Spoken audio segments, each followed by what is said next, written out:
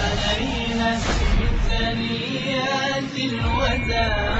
في ذكرى هجرة النبي محمد صلى الله عليه وعلى آله وسلم أذكر بقول الله تبارك وتعالى وإذ يمكر بك الذين كفروا ليثبتوك أو يقتلوك أو يخرجوك ويمكرون ويمكر الله والله خير الماكرين. أذكر بحفظ الله تبارك وتعالى لنبيه صلى الله عليه وعلى آله وسلم. أذكر بحفظ الله تبارك وتعالى لأوليائه الصالحين.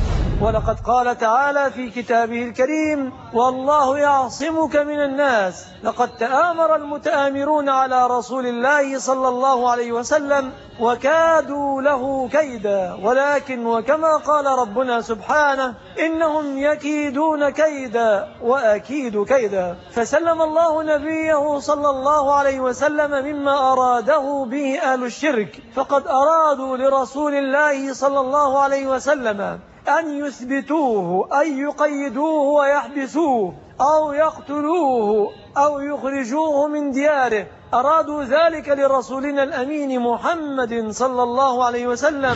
ولكن دائما وأبدا فالله كما وعد وكما قال يريدون ليطفئوا نور الله بأفواههم ويأبى الله إلا أن يتم نوره ولو كره الكافرون هو الذي أرسل رسوله بالهدى ودين الحق ليظهره على الدين كله ولو كره المشركون.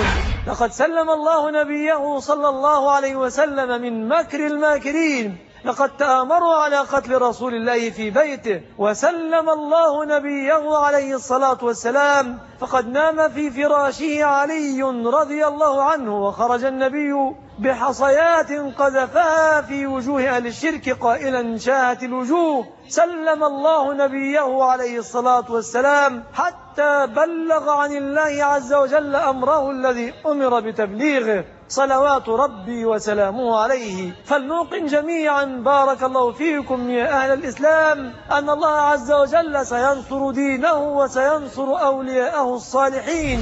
قال تعالى ولقد سبقت كلمتنا لعبادنا المرسلين. إنهم لهم المنصورون. وإن جندنا لهم الغالبون. لقد قال تعالى كتب الله لأغلبن أنا ورسلي فلنتفاءل بنصر الله لأهل الإيمان. فاثبتوا على دينكم يا أهل الإسلام فإن الله عز وجل ناصركم ومؤيدكم. ألا واستمسكوا بسنة النبي الكريم وهديه صلى الله عليه وسلم وأبشروا وأمنوا فلن يتركم الله أعمالكم وسيرفع الله رايتكم ويخذل عدوكم وعدوه فاعتصموا بالله هو مولاكم فنعم المولى ونعم النصير.